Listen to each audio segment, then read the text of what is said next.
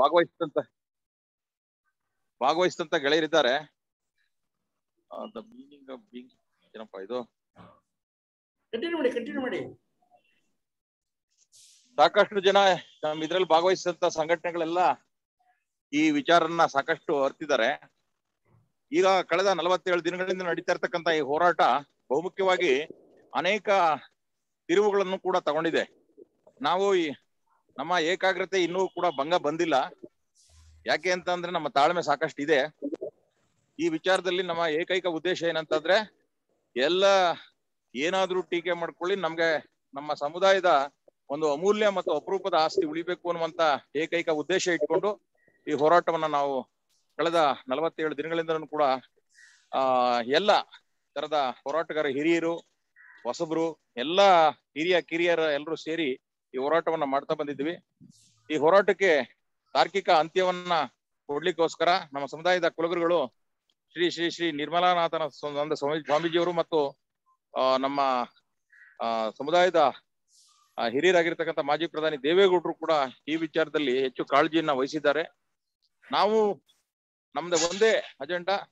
ನಾವು ಈ ವಿಚಾರಕ್ಕೆ ಸಂಬಂಧಪಟ್ಟಂಗೆ ನಿರಂತರವಾದಂತ ಧರಣಿಯನ್ನ ಮಾಡ್ತಾ ಎಲ್ಲ ಆ, ನಮ್ಮ ಸಮುದಾಯದ ಸಚಿವರು ಇರ್ಬೋದು ಶಾಸಕರು ಇರ್ಬೋದು ರಾಜಕಾರಣಿಗಳಿಂದ ಹಿಡಿದು ಬುದ್ಧಿಜೀವಿಗಳಿಂದ ಹಿಡಿದು ಎಲ್ಲರನ್ನೂ ಕೂಡ ಕರೆಸಿ ಈ ವಿಚಾರದಲ್ಲಿ ಎಲ್ಲೋ ಕೂತ್ಕೊಂಡು ಮಾತಾಡಿದ್ರೆ ಅವ್ರಿಗೆ ಸಮಗ್ರವಾಗಿ ಮಾಹಿತಿ ಗೊತ್ತಾಗಲ್ಲ. ಆ ಕಾರಣಕ್ಕೋಸ್ಕರ ನಾವು ವಿಚಾರವನ್ನ ದಿನನಿತ್ಯ ಕೂಡ ಇದು ಯಾವುದೋ ಯಾರೋ ಯಾವುದೋ ಕೆಲ್ಸಕ್ಕೆ ಬರೋದು ಜನ ಮಾಡ್ತಾವ್ರೆ ಅಂತಲೂ ಕೂಡ ಕೆಲವ್ರು ಮಾತಾಡಿದ್ದಾರೆ ಇಲ್ಲೇ ಬಂದು ಹೋದಂತವ್ರು ಅದೇನೇ ಇದ್ರೂ ಕೂಡ ನಮ್ಮಿಂದ ಆಗುವಂತ ಎಲ್ಲ ರೀತಿಯ ಹೋರಾಟಗಳನ್ನು ನಾವು ಮಾಡ್ತಾ ಇದ್ದೀವಿ. ತಾಳ್ಮೆಯಿಂದ ಆ ಸತ್ಯಾಗ್ರಹ ಗಾಂಧಿ ಮಾರ್ಗದಲ್ಲೇ ಮಾಡ್ತಾ ಇವತ್ತಿಗೆ ನಲವತ್ತ ಏಳು ದಿನ ಮಂಗಳವಾರಕ್ಕೆ ನಲವತ್ತೆಂಟು.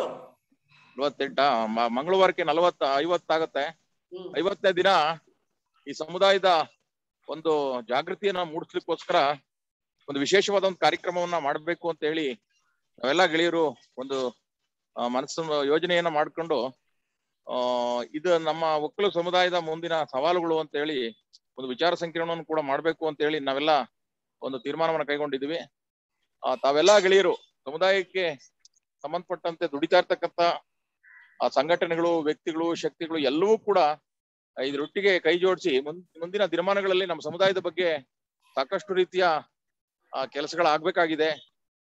ನಾವು ಎಲ್ಲೋ ಒಬ್ಬೊಬ್ರು ಅಲ್ಲಿ ಇಲ್ಲಿ ಮಾಡೋ ಒಂದೊಂದಾಗಿ, ಆ, ವಿಘಟನೆಗೊಂಡಂತೆ ಮಾಡೋದಕ್ಕೆ ಬದಲಾಗಿ, ನಾವೆಲ್ಲ ನಮ್ಮ ನಮ್ಮ ಸಂಘಟನೆಗಳನ್ನ ಮಾಡ್ತಾನೆ, ನಾವೆಲ್ಲ ಒಗ್ಗೂಡಿ ಒಂದು ಸಮುದಾಯದ ಕೆಲಸಗಳನ್ನ ಮಾಡುವ ನಿಟ್ಟಿನ ಯಶಸ್ವಿ ಕಾರ್ಯಗಳನ್ನ ನಾವು ಮಾಡ್ಬೋದು. ಅಂತ ಹೇಳ್ತಾ, ತಾವೆಲ್ಲರೂ ಕೂಡ ಮಂಗಳವಾರದ ಒಂದು ವಿಶೇಷವಾದಂತ ವಿಚಾರ ಸಂಕಿರಣಕ್ಕೆ ಬರಬೇಕು ಅಂತ ಹೇಳಿ ಈ ಸಂದರ್ಭದಲ್ಲಿ ನಾನು ಎಲ್ರಿಗೂ ಕೂಡ ಈ ಜೂಮ್ ಮೀಟಿಂಗ್ ಮೂಲಕ ಮನವಿ ಮಾಡ್ಕೊಳ್ತಾ ಇದ್ದೀನಿ. ಆದಾಗ್ಯೂ ಇವತ್ತು ಅನೇಕ ಆ, ಗೆಳೆಯರು ಬರುವ ಕಾರಣಕ್ಕೆ ನಾನು ಮತ್ತೆ ತಮ್ಮನ್ನ ಭೇಟಿಯಾಗಿ ತಮ್ಮ ಜೊತೆಲಿ ಕೈ ಜೋಡಿಸ್ತೀನಿ. ಈಗ ಇನ್ನು ಒಂದಿಷ್ಟು ಪ್ರಿಲಿಮಿನರಿ ವರ್ಕ್ಸ್ ಇದೆ.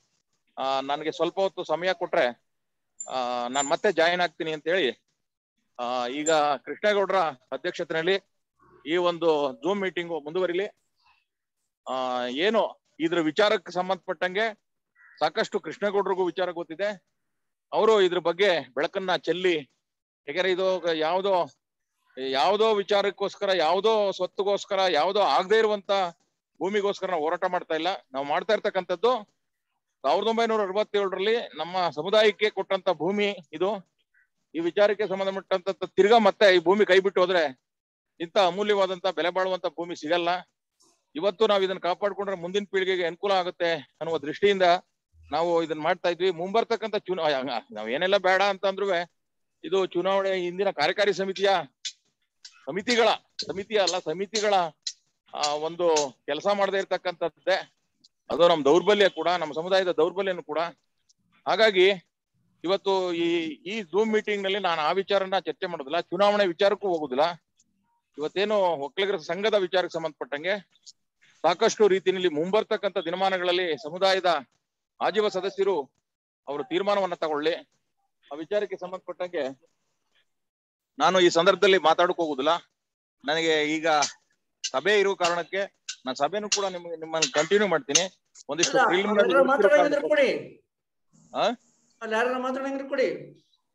ಎಲ್ಲ ಸೇರ್ತಾ ಇದಾರೆ ಈಗ ಸೇರ್ತಾ ಇದಾರೆ ಒಂದ್ ಹತ್ತು ಹತ್ತು ಹದಿನೈದು ನಿಮಿಷ ನೇಗಿಲ ಯೋಗಿ ಮಿತ್ರರೆಲ್ಲರೂ ಬಂದಿದ್ದಾರೆ. ಬೇರೆ ಬೇರೆಯವರೆಲ್ಲ ಬಂದಿದ್ದಾರೆ. ಹ್ಮ್. ನನಗೆ ವಿಚಾರಕ್ಕೆ ಸಂಬಂಧಪಟ್ಟಂಗೆ ನೀವು ಮಾತಾಡ್ತಾ ಹೋಗಿ ನಾನು ಇದನ್ನ ಹೀಗೆ ನಮ್ಮ ಗೆಳೆಯರ ಮೂಲಕ ಇದನ್ನ ಟೆಲಿಕಾಸ್ಟ್ ಆಗ್ತಾರೆ ಓಕೆ ಓಕೆ ಅನಿಯೂರ್ ಚಂದ್ರೇಗೌಡರು ಮಾತಾಡ್ಬೇಕು ಅಂತಿದ್ದಾರೆ. ಮಾತಾಡಿ. ಅನಿಯೂರ್. ಗೋಪಾಲ್ ಅವನ್ ಮಾತಾಡ್ತೀನಿ ರೀ ಲೈವ್ ಕಡೆಗೆ ಗೋಪಾಲ್ ಮ್ಯೂಟ್ ಮಾಡಪ್ಪ ಮ್ಯೂಟ್ ಮಾಡಪ್ಪ. ಗೋಪಾಲಣ್ಣ. ಮಾಡಿ ಮ್ಯೂಟ್ ನಾ ಮಾಡ್ತೀನಿ ಬಿಡಿ. ಅನಿಯೂರ್ ಚಂದ್ರೇಗೌಡ್ರೆ ಮಾತಾಡಿ. ಯಾರ ಮಾತಾಡಿದ್ರೆ ಡಿಜಿಟಲ್ ರೈಸ್ ಮಾಡಿ. ಈಗ ಮಾತಾಡ್ಲಿ ಮಿಕ್ಕವ್ರು ಮಾತಾಡ್ಲಿ. ಇಲ್ಲ ಅವ್ರು ಇನ್ನು ಮೀಟಿಂಗ್ ಅಲ್ಲಿ ಇನ್ನೂ ಒಂದ್ ಐದ್ ನಿಮಿಷ ಆಗತ್ತೆ. ನೀವು ಮಾತಾಡಿ ಮಾತಾಡಿ. ಆ, ನಾನೊಂದ್ ಐದ್ ನಿಮಿಷ ಬಿಟ್ಟು ಡಾಕ್ಟರ್ ಅಲ್ಲ ಯಾರೋ ಜಿ ಆರ್ ವೀರೇಂದ್ರ ಡಾಕ್ಟರ್ ಇದಾರೆ ರಮೇಶ್ ಲಿಂಗಪ್ಪ ಬೃಂದಾಮಣಿ ಶ್ರೀಧರ್- ಮಾತಾಡ್ತೀರಾ? ವೃಂದಾಮಣಿ ಅವ್ರು ಮಾತಾಡಿ. ಬೃಂದಾಮಣಿ ಅಂತ ಯಾರೋ ಇದಾರೆ Ramesh Lingappa ಮಾತಾಡ್ತೀನಮ್ಮ. Doctor G R Veerendra. ಒಂದ್ ನಿಮಿಷ ನಿಮಿಷ.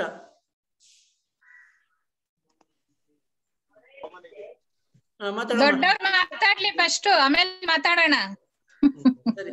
ಸರಿ ಏಕ್ದಮ್ ದೊಡ್ಡವ್ರು ಮಾತಾಡ್ಲಿ ಅಂದ್ರು ವಯಸ್ಸಲ್ಲಿ ತುಂಬಾ ಚಿಕ್ಕವರು ಅಂತ ಕಾಣ್ತದ ಬಿಡಿ. ಹೌದು ಹೌದು. ಮಧುಸ್ ಡಾಕ್ಟರ್ ಮಧುಸೂದನ್ ಮಾತಾಡ್ತೀರಾ? Sir Madhusudan sir. Hello G R Veerendra. Doctor G R Veerendra doctor Madhusudan ಅಣ್ಣ ನಮ್ಮ ಕಿಮ್ಸ್ ಡಾಕ್ಟರ್. ಮಾತಾಡಿ ಅಣ್ಣ. ಇವು ನಮ್ಮ ಮಧುಸೂದರ ಇವರು ಡಾಕ್ಟರ್ ಇವರು. ನಮ್ಮ ಏಮ್ ಮಾತಾಡಿ ಸರ್ ವರ್ಕ್ ಆಗ್ತಿಲ್ಲ ನಾ ಆಡಿಯೋ ಏಯ್ ವರ್ಕ್ ಆಡಿಯೋ ಬರ್ತಾ ಇದೆ ಕೇಳಿಸ್ತಾ ಇದೆ. ಇಲ್ಲ ನಂದ್ರಲ್ಲಿ ವರ್ಕ್ ಆಗ್ತಿಲ್ಲ ಇದು ಲಿಂಗೇಗೌಡ್ರದು ಇಲ್ಲ ನೀವು ಮಾತಾಡಿ ಲಿಂಗೇಗೌಡರದು ಮ್ಯೂಟ್ ಮಾಡಪ್ಪ ಲಿಂಗೇಗೌಡ ಮ್ಯೂಟ್ ಮಾಡಿದೀವಿ. ಚಲ್ನಿ Mute- ನಾ mute ಇಬ್ರು. ಪಕ್ಕಪಕ್ಕದಲ್ಲೇ ಇದೀವಿ. ಕೇಳಿಸ್ತದ ಅವ್ರಿಗೆ? ಸಭೆ ಇದಾರೆ ಸಭೆಯವ್ರು ಇದಾರೆ ನೀವ್ ಮಾತಾಡಿ. ಹಲೋ. ಏ, ಇಲ್ಲಿದ್ದೀರಾ ನೀವು?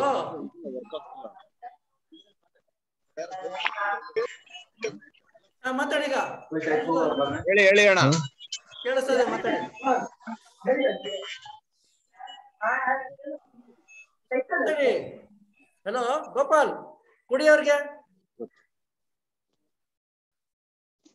ಮತ್ತೆ ಯಾರು ಮಾತಾಡ್ತಾರೆ? ಹೇಳಿ ಸ್ನೇಹಿತರೆ. ಯಾರ ಮಧುಸೂದನ್ ಮಾತಾಡ್ತೀನಿ ಅಂದ್ರು ಕುಡಿ. ಮಧು ಅವ್ರದ ಫೋನ್ ಏನೋ ಪ್ರಾಬ್ಲಮ್ ಆಗ್ತಾ ಇದೆ. ತೊಳಿ ಮಾತಾಡಿ. ಹೇಳಿ ಹೇಳಿ ಅಣ್ಣ. ಮಾತಾಡಿ. ಹೇಳಿ ಕೃಷ್ಣಗೌಡ್ರೆ. ಮಾತಾಡಿ ಅಂತ ನಾನು ಹೇಳಿದೀನಿ ಅದೇ ಕೇಳ್ತೀರಲ್ಲ ಕಂಟಿನ್ಯೂ ಯಾವ ವಿಷಯ ಬಗ್ಗೆ ಮಾತಾಡೋಣ? ಹೋರಾಟದ ಬಗ್ಗೆನಾ ಏನು? ಅಲ್ಲೇನು ಕೊಡ್ತೀರೋ ಆ ವಿಷಯದ ಬಗ್ಗೆ? ಹೋರಾಟಕ್ಕೆ ಕೂತಿರೋದು ಗೊತ್ತಿದೆ. ಬೇರೆಯವ್ರಿಗೆ ಗೊತ್ತಾಗ್ಲಿ. ಏನು ಎಂ ವಿ ಕೃಷ್ಣಪ್ಪ ಅವರು ದಾನ ಕೊಟ್ಟಿರೋ ಜಾಗ ಈಗ ಅದನ್ನ ಸರ್ಕಾರ ಕಬಳಿಸಕ್ಕೆ ಹೊರಟಿದೆ. ಆಲ್ರೆಡಿ ಅವರೆಲ್ಲ ನೋಟಿಫಿಕೇಶನ್ ಮಾಡಿದ್ದಾರೆ. ಇದು ಕೋರ್ಟ್ ಅಲ್ಲಿ ಘನ ನ್ಯಾಯಾಲಯ ನಾಲ್ಕು ಎಕರೆ ನಮ್ಮ ಸುಪರ್ದಲ್ಲಿದೆ ಅಂತ ಹೇಳಿದೆ. ಮಿಕ್ಕಿದ ಹದಿನೈದು ಎಕರೆಗೆ ನಾವು ಹೋರಾಟ ಕೂತಿರೋದು. ಈಗ ನೀವು ಮೊನ್ಮೊನ್ನೆ ನೋಡಿದ್ರಿ ಅಣ್ಣ ಚೂರು ಸ್ವಲ್ಪ. ಈಗ ಮೊನ್ಮೊನ್ನೆ ಸೆಷನ್ ಅಲ್ಲಿ ಒಕ್ಲೀರ ಸಂಘ ಸಾವಿರದ ಅಣ್ಣ ಚೂರು ಸೌಂಡ್ ಕಮ್ಮಿ ಮಾಡಿ. ಹಲೋ. ನಂದಿದು. ವರ್ಕ್ ಆಗ್ತಿಲ್ಲ ಇರಿ. ನೆಕ್ಸ್ಟ್ ಮಾತಾಡೋದು ಡಿಜಿಟಲ್ ಹ್ಯಾಂಡ್ ರೈಸ್ ಮಾಡಿ ಕೊಡಿ ಇಲ್ಲಿ ಕೊಡಿ. ನೆಕ್ಸ್ಟ್ ಯಾರು ಮಾತಾಡ್ಬೇಕು ಅಂದ್ರೆ ಡಿಜಿಟಲ್ ಹ್ಯಾಂಡ್ ರೈಸ್ ಮಾಡಿ.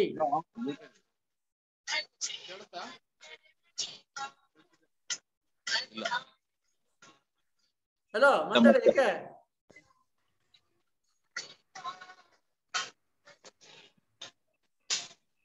ಮಧುಸೂದನ್ ಮಾತಾಡಿ ಹಾ ರಾಜು ಮಾತಾಡಿ ನಾನೇ ಮಾತಾಡ್ದೆ? ಮಾತಾಡಿ ಮಾತಾಡಿ. ನೀವು ಸೀನಿಯರ್ ಮೋಸ್ಟ್ ರಾಜಣ್ಣ ಮಾತಾಡಿ. ಸರ್ ನೀವು ಸೀನಿಯರ್ ಮೋಸ್ಟ್ ಮಾತಾಡೋಣ. ಯಾವ ವಿಚಾರ ಮಾತಾಡೋಣ. ಅದ್ರ ವಿಷಯ ಮಾತ್ರ. ಇವತ್ತಿನ ಕಾರ್ಯಕ್ರಮ ಬರೀ ಹೋರಾಟದ್ದು. ಸಂಘದ ಆಸ್ತಿ ಉಳಿಸೋದು. ನಮ್ ದೌರ್ಭಾಗ್ಯದ ಬಗ್ಗೆ ಮಾತಾಡುವೆ. ನಿನ್ನೆ ಮೊನ್ನೆ ಬಂದಂತ ಸಂಸ್ಥೆಗಳು ಕರ್ನಾಟಕದಲ್ಲಿ ಆರ್ನೂರಕ್ಕೂ ಹೆಚ್ಚು ಸಂಸ್ಥೆಗಳನ್ನ ಕಟ್ತವೆ. ಸ್ವಾಭಿಮಾನದಲ್ಲಿ ಕಟ್ತವೆ. ಗೌರವಾನ್ವಿತ ಕಟ್ತವೆ. ಆದ್ರೆ ನಮ್ಮ ಸಂಘ ಇದ್ದಂಥದ್ದು ಕೇವಲ ಗೆದ್ದು ಚುನಾವಣೆಯಲ್ಲಿ ಗೆಲ್ಲುವುದಷ್ಟೇ ಗೆದ್ದಾದ್ಮೇಲೆ ನಾನು ಎಷ್ಟು ಹಣ ಮಾಡಬೇಕು, ಎಷ್ಟು ಆಸ್ತಿ ಮಾಡ್ಬೇಕು ಅನ್ನೋದು ಅಷ್ಟೇ ಆಗಿರ್ತದೆ ಹೊರತು. ನಾವು ಯಾರಿಗೆ ಹೇಳ್ಕೊಳುವ ಏನಂತ ದೌರ್ಭಾಗ್ಯ ಹೇಳುವ? ಇದ ಏನಾರ ನಗಲ್ರೆ ನಮ್ ಜನವ? ಎಲ್ಲಾ ಕಡೆ ಕೇಳಿದ್ರೆ ನಮ್ ಜನಾಂಗ ಕರ್ನಾಟಕದ ಎರಡನೇ ಜನಾಂಗ. ಎರಡನೇ ಸುರೇಶಣ್ಣ ಒಂಚೂರು ಸೌಂಡ್ ಕಡಿಮೆ ಮಾಡಿ. ಕರ್ ಕರ್ನಾಟಕದ ದೌರ್ಭಾಗ್ಯವೇ? ಎರಡನೇ ಜನಾಂಗ ಅನ್ಸ್ಕೊಂಡಂತ ನಾವು, ಅದರಲ್ಲೂ ಕೂಡ ಒಂದನೇ ಜನಾಂಗ ಆದ್ರೂ ಕೂಡ ಜನಗಣತಿಯ ಲೆಕ್ಕದ ಪ್ರಕಾರ ಮಾಡಿ ಎರಡನೇ ಸಮುದಾಯ ಅಂತ ಮಾಡಿದ್ರು. ಆ ಎರಡನೇ ಸಮುದಾಯ ಅಂತ ಮಾಡಿದ್ರು, ಮಾಡ್ಲಿ, ಏನ್ ತಪ್ಪೇನಿಲ್ಲ. ಸೌಂಡ್ ಕಡಿಮೆ ಮಾಡಿ ಎಂದೆ. ಆದ್ರೆ ದೌರ್ಭಾಗ್ಯ ಎಂತದ್ದು ಅಂದ್ರೆ, ನಿನ್ನೆ, ಮೊನ್ನೆ ಬಂದಂತವು ಸಂಸ್ಥೆ ವಿದ್ಯೆ ಕೊಡಬೇಕು, ಬುದ್ಧಿ ಕೊಡಬೇಕು ಅಂತ ಶುರುವಾದಂತ ಸಂಸ್ಥೆಗಳು ಇವತ್ತು ದೊಡ್ಡ ದೊಡ್ಡ ವಿಶ್ವವಿದ್ಯಾಲಯ ಕಟ್ತಂಗ್ ಕಟ್ತಾ ಹೋಯ್ತಾವೆ. ದೊಡ್ಡ ಘನ ಪರಂಪರೆ ಇರುವಂತ ನಮ್ಮ ಒಕ್ಕಲಿಗ ಸಮಾಜದ ಸಂಸ್ಥೆ. ಇಲ್ಲಿ ಓದಂತ ಮಹಾಪುರುಷರು ಎಲ್ರು ಎಂ ಬಿ ಬಿ ಎಸ್ ಮಾಡಿರ್ರೆ ಎಂ ಡಿ ಮಾಡಿರ್ರಿ.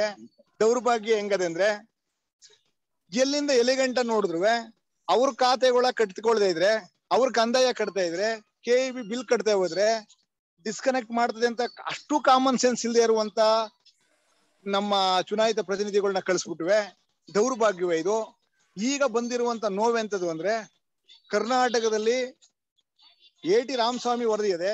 ಆ ವರದಿ ಪ್ರಕಾರ ಎಷ್ಟೋ ಜಾಗಗಳು ಸರ್ಕಾರದ್ದದೆ ಅಂತ ಹೇಳಿದ್ರು ಕೂಡ ಸರ್ಕಾರ ಜಾಗ ಅದ್ಯಾವುದಕ್ಕೂ ಕೈ ಹಾಕದೆ ನನ್ ಜಾಗ ಕೈ ಹಾಕೋದಲ್ಲ ಈ ಜನಾಂಗ ಕೈ ಹಾಕೋದಲ್ಲ ಈ ಜಾಗ ಇದ್ ಕಟ್ಲಿಲ್ಲ ರಿನ್ಯೂವಲ್ ಮಾಡ್ಕೊಳ್ಲಿಲ್ಲ ಅನ್ನುವಂಥದ್ದು ಏಕಮಾತ್ರದಿಂದ ಎಂ ಯು ಕೃಷ್ಣಪ್ಪನವರು ಸಾವಿರದ ಒಂಬೈನೂರ ಅರವತ್ತೇಳರಲ್ಲಿ ಕೊಡ್ತಾರೆ.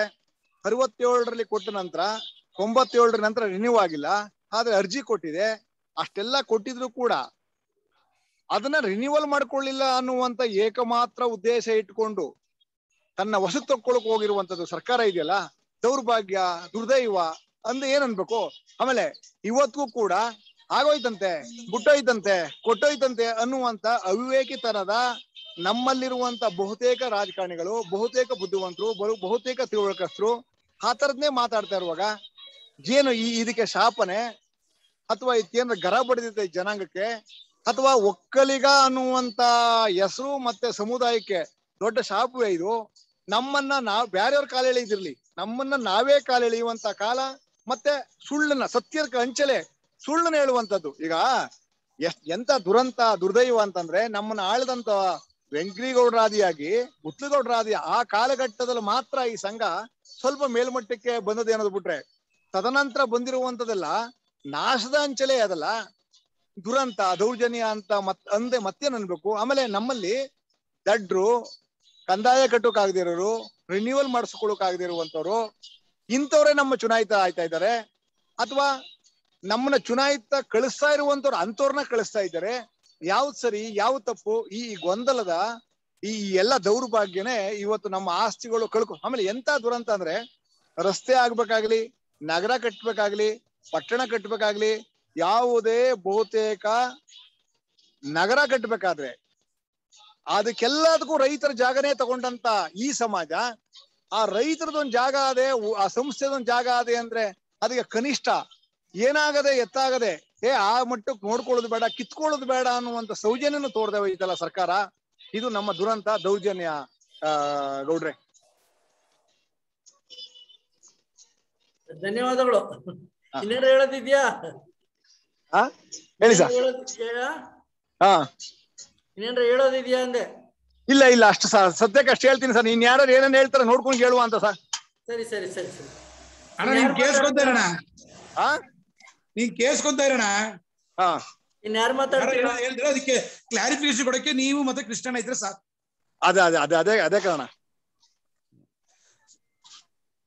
ಹೇಮಂತ್ ಹೇಮಂತ್ ಚಂದ್ರಗೌಡ ಮಾತಾಡ್ತೀರಾ? Ramesh Lingappa. Ramesh Lingappa.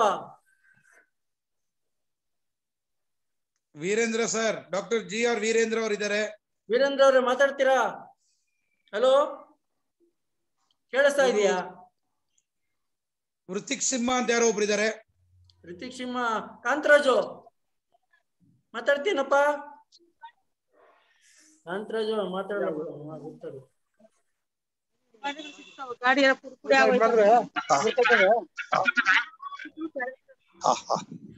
Sir ನೀವ್ ಮಾತಾಡ್ತೀರಮ್ಮ? ಹಲೋ ಹೇಳಿ.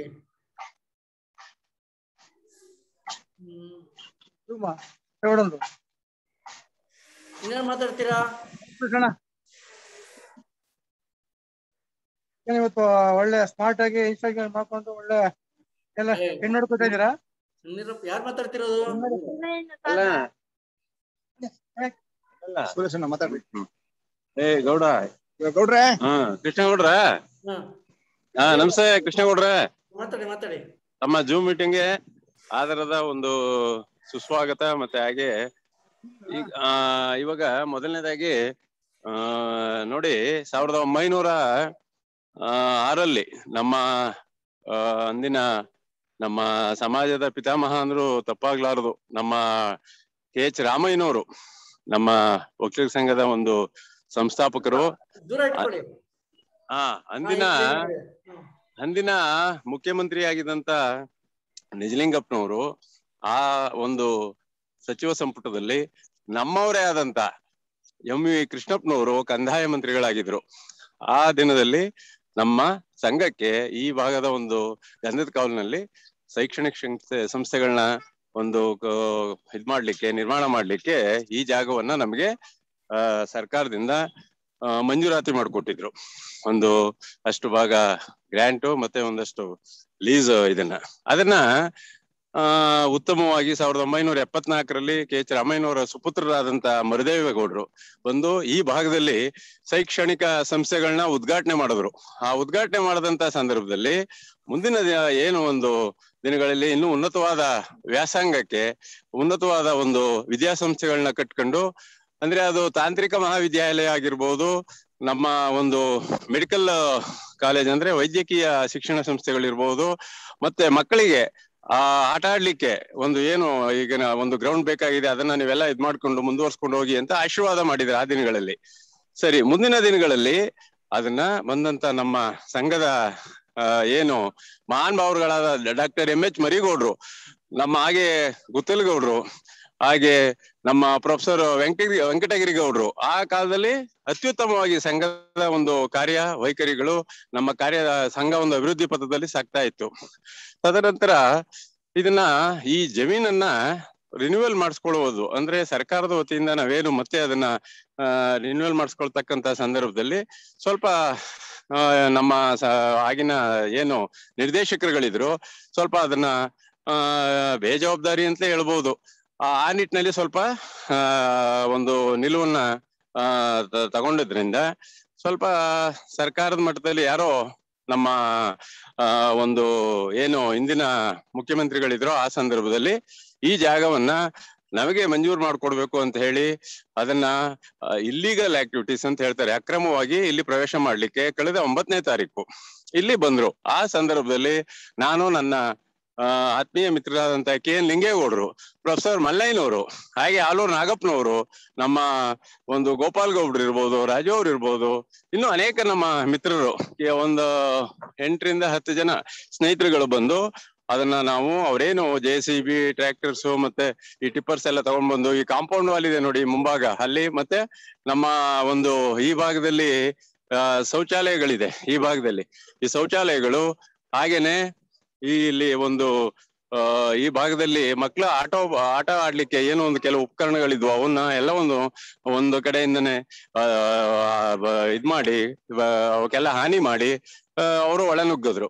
ಸರಿ ಅವರೆಲ್ಲರೂ ನಾವೆಲ್ಲ ನಮ್ಮ ಒಂದು ಕೆ ಎನ್ ಲಿಂಗೇಗೌಡರ ನೇತೃತ್ವದಲ್ಲಿ ಎಲ್ಲರೂ ಸೇರ್ಕೊಂಡು ನಾವು ಅವ್ರನ್ನ ಆ, ಹೊರಹಾಕಿ ಇಲ್ಲಿ ಒಂದು ಧರಣಿಯನ್ನ ಶುರು ಮಾಡಿದ್ವಿ. ಕಳೆದ ಒಂಬತ್ತನೇ ತಾರೀಕು. ಅಂದಿನಿಂದ ಸರಿಸುಮಾರು ಇವಾಗ ನಲವತ್ತ ಏಳನೇ ದಿವಸ ಆಗ್ತಾ ಇದೆ. ಇವಾಗ ಈ ನಮಗೆ ಮೊದಲನೇದಾಗಿ, ಆ ಇವರು ನಮ್ಮ ಕುಲಗುರುಗಳಾದಂತ ಶ್ರೀ ಶ್ರೀ ಶ್ರೀ ಡಾಕ್ಟರ್ ನಿರ್ಮಾನ ನಿರ್ಮಲಾನಂದನಾಥ ಮಹಾಸ್ವಾಮಿಗಳ ಆಶೀರ್ವಾದದಿಂದ ಅವರ ಆದೇಶದಂತೆ ನಾವು ಇದನ್ನ ಹಗಲು ರಾತ್ರಿ ಇದನ್ನ ನಾವು ಕಾಯ್ಕೊಂಡು ಸರ್ಕಾರಕ್ಕೆ ಮನವಿ ಮಾಡ್ಕೊಂಡಿದೀವಿ ನಾವು. ಏನು ನಮ್ಮ ಕುಲಗುರುಗಳಾದಂತ ಸ್ವಾಮೀಜಿಯವರ ಮುಖಾಂತರ ಈ ಜಾಗವನ್ನು ಕಳೆದ ಐವತ್ನಾಲ್ಕು ವರ್ಷದಿಂದ ನಾವು ಶೈಕ್ಷಣಿಕ ಒಂದು ಸಂಸ್ಥೆಗಳನ್ನ ಇಲ್ಲಿ ಕಟ್ಕೊಂಡು ಮಕ್ಕಳಿಗೆ ಈ ಭಾಗದಲ್ಲಿ ಹೇಳ್ತೀನಿ. ದುರಂತ ಅಂದ್ರೆ ಇಲ್ಲಿ ಇದ್ದಂತ ನಿರ್ದೇಶಕರು ಅಧ್ಯಕ್ಷರಾಗಿದ್ದಾರೆ ಅಧ್ಯಕ್ಷರು ಪುಣ್ಯಾತ್ಮರಿಗೆ ಅದು ನಮ್ ಜಮೀನ, ಗೌರ್ಮೆಂಟ್ ಜಮೀನು ಅನ್ನೋದೇ ಗೊತ್ತಿಲ್ಲ. ಒಬ್ಬ ಮಾಜಿ ಅಧ್ಯಕ್ಷ ಹೇಳ್ತಾರೆ, ಏ, ಸರ್ಕಾರದ ಬಿಡ್ರಿ, ನಮ್ದಲ್ಲ ಅಂತ ಹೇಳ್ತಾರೆ.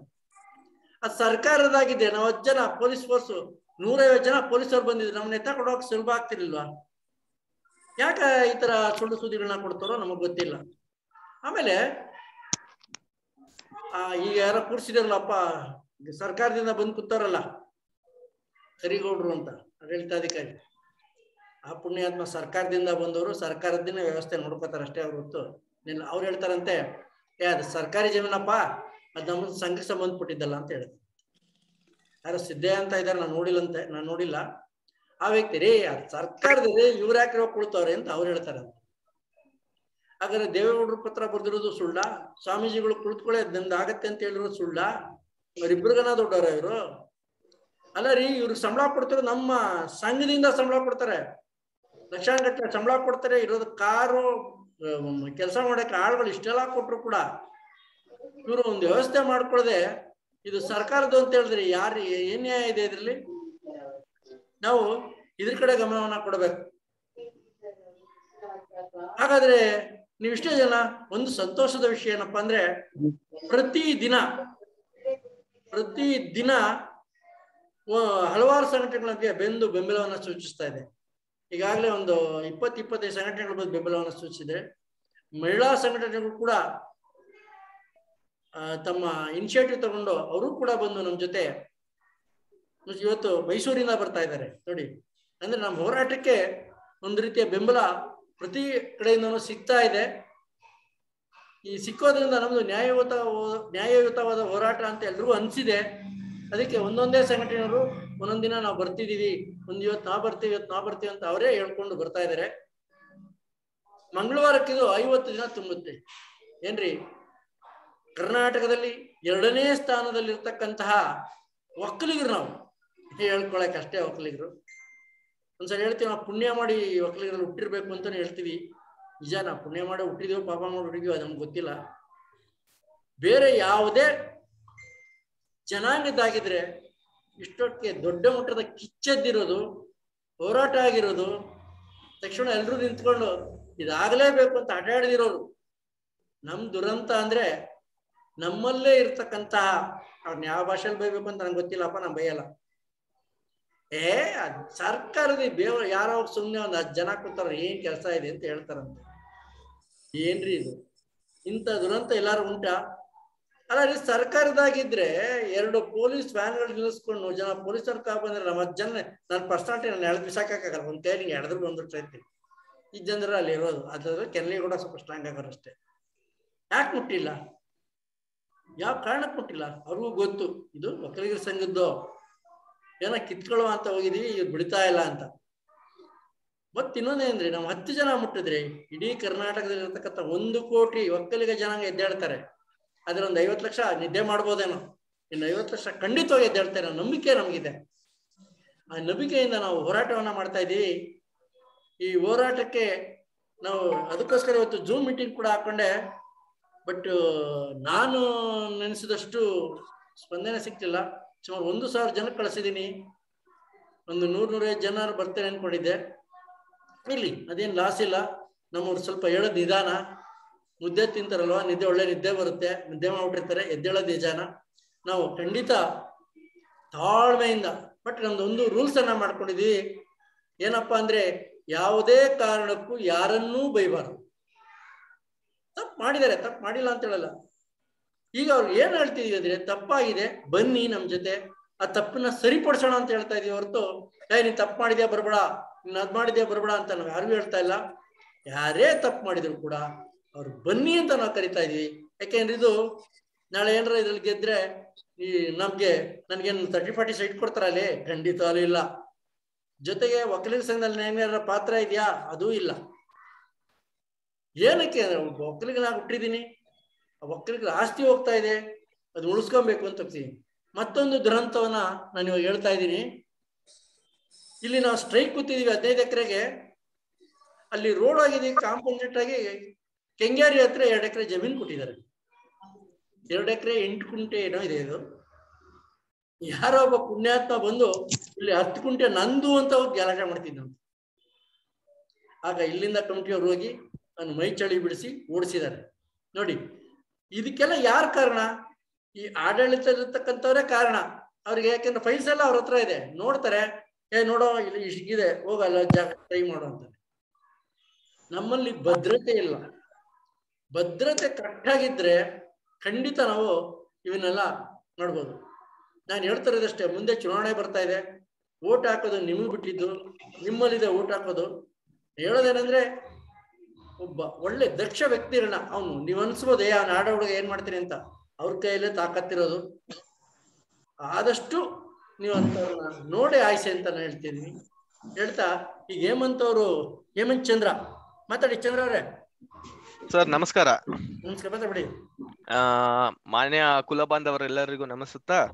ನಾನು ನಮ್ಮ ನನಗೆ ಕೆಲವು ಅನ- ಅನಿಸಿಕೆಗಳಿವೆ ಅದನ್ನ ನಿಮ್ಮಲ್ಲಿ ಎಲ್ಲಿಂದ ಅಂತ ಹೇಳ್ಬಿಡಿ. ವ್ಯಕ್ತಪಡಿಸ್ತೀನಿ.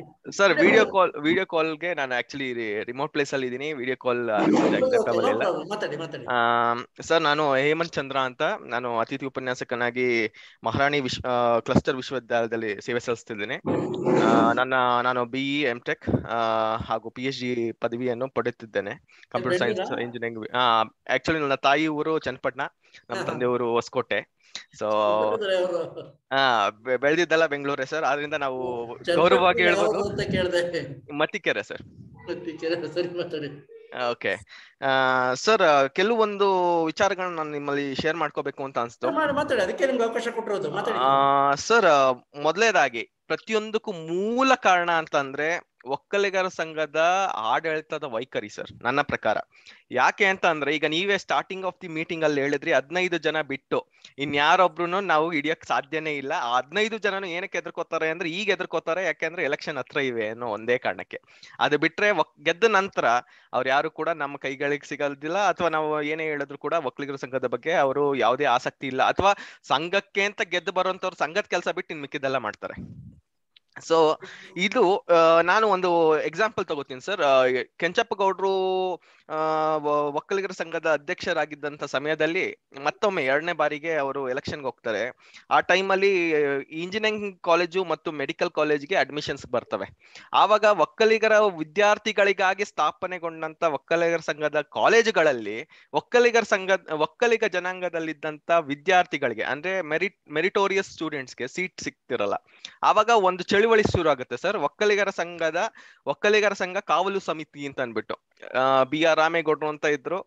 ಅವರ ನೇತೃತ್ವದಲ್ಲಿ ಕೆಲವೊಂದು ಅವರೊಬ್ಬರೇ ಅಲ್ಲ, ಇನ್ನೂ ಅನೇಕರು. ವ- ವ- ವ- ಒಕ್ಕಲಿಗ ಸಂಘದ ಹಿರಿಯರು ಅಂತ ಹೇಳ್ಬೋದು. ಒಕ್ಕಲಿಗರ ಜನಾಂಗದಲ್ಲಿ ಹಿರಿಯರು. ಅವರೆಲ್ಲ ಸೇರ್ಕೊಂಡು ಒಂದು ಹೋರಾಟ ಮಾಡ್ತಾರೆ. ಒಕ್ಕಲಿಗರ ಸಂಘದ ಈವನ್ ಮ್ಯಾನೇಜ್ಮೆಂಟ್ ಸೀಟ್ಸ್ ಏನಿವೆ, ಅದು ಬಿಕಾರಿ ಆಗ್ಬಾರ್ದು. ಅದೇನಂದ್ರೆ ಒಂದು ಮೆರಿಟೋರಿಯಸ್ ಸ್ಟೂಡೆಂಟ್ಸ್ ಲಿಸ್ಟ್ ಮಾಡಿ ಆ ವಿದ್ಯಾರ್ಥಿಗಳಲ್ಲಿ ಯಾಕಂದ್ರೆ ಒಕ್ಕಲಿಗರ ಜನ ಬ- ಕೇವಲ ಬಡವರು ಇದಾರೆ ಅಥವಾ ಒನ್ಲಿ ಶ್ರೀಮಂತರು ಇದಾರೆ ಅಂತಲ್ಲ. ಎಲ್ಲರೂ ಎಲ್ಲರೂ ಒಳತುಗೊಂಡಂತ ಸಂಘ ಅದು. ಅದರಲ್ಲಿರುವಂತ ಮೆರಿಟೋರಿಯಸ್ ಸ್ಟೂಡೆಂಟ್ಸ್ಗೆ ಸೀಟ್ ಕೊಡಬೇಕು ಅಂತ ಒಂದು ಹೋರಾಟ ಇತ್ತು ಅದು ಸಕ್ಸಸ್ಫುಲ್ ಆಯ್ತು ಪಾರ್ಶಿಯಲಿ ಸಕ್ಸಸ್ಫುಲ್ ಯಾಕೆಂದ್ರೆ ಅದನ್ನ ಇಂಜಿನಿಯರಿಂಗ್ ಕಾಲೇಜು ಮತ್ತು ಡೆಂಟಲ್ ಕಾಲೇಜ್ಗಳಿಗೆ ಒಳಗೊಳ್ತಾರೆ ಹೊರತು ಮೆಡಿಕಲ್ ಕಾಲೇಜ್ಗೆ ಅದನ್ನ ಅನ್ವಯಿಸಲ್ಲ. ಮೆಡಿಕಲ್ ಕಾಲೇಜ್ ಸೀಟ್ಗಳು ಇವತ್ತಿಗೂ ಕೂಡ ವ್ಯಾಪಾರೀಕರಣ ಆಗಿದೆ, ಅದು ನಿಮ್ಗೂ ಗೊತ್ತು, ಎಲ್ಲರೂ, ಸಂಘದ ಎಲ್ಲರಿಗೂ ಗೊತ್ತು. ಒಕ್ಕಲಿಗರ ಸಂಘದ ಮೂಲ ಉದ್ದೇಶ ಏನು ಅಂತಂದ್ರೆ, ಒಕ್ಕಲಿಗರ ಜನಾಂಗದ ಇಲ್ಲಿ ಇಲ್ಲಿ ಕೋಲಾರದಿಂದ ಹಿಡಿದು ಆ ಕಡೆ ಮಡಿಕೇರಿ, ಚಿಕ್ಕಮಂಗ್ಳೂರು ಈವನ್ ಮಂಗಳೂರಿನವರೆಗೂ ಏನು ಒಕ್ಕಲಿಗರ ಸಂಘ ಬೇರೆ ಬೇರೆ ಆ ಒಳ- ಒಳ ಪಂಗಡಗಳು ಏನೇ ಇದ್ರು ಅವರೆಲ್ಲರೂ ಒಕ್ಕಲಿಗರೇ. ಘಟ್ಟದ ಗೌಡ್ರ ಇರ್ಬೋದು ಅಥವಾ ಗಂಗಡ್ಕಾರ್ ಇರ್ಬೋದು ಮರುಸ್ ಒಕ್ಕಲಿಗರು ಇರ್ಬೋದು ಅಥವಾ ಕುಂಚಿಟಿಗರು ಇರ್ಬೋದು. ಯಾರೇ ಆಗಿರ್ಬೋದು ಹಾ ಎಲ್ಲರೂ ಒಂದೇ. ಒಕ್ಕಲಿಗರು ಒಕ್ಕಲಿಗರ ವಿದ್ಯಾರ್ಥಿಗಳಿಗೆ ಈ ಸಂಘ ಸ್ಥಾಪನೆ ಆಗ್ಬೇಕಾದ್ರೆ ಕಾರಣನೂ ಅದೇನೆ. ಇದು ಇವರು ಯಾರು? ಕೆಲವು ಮೂಲ ಪುರುಷರು ಏನಿದ್ರು ಅವರು ಮನಗಂಡ್ತಾರೆ.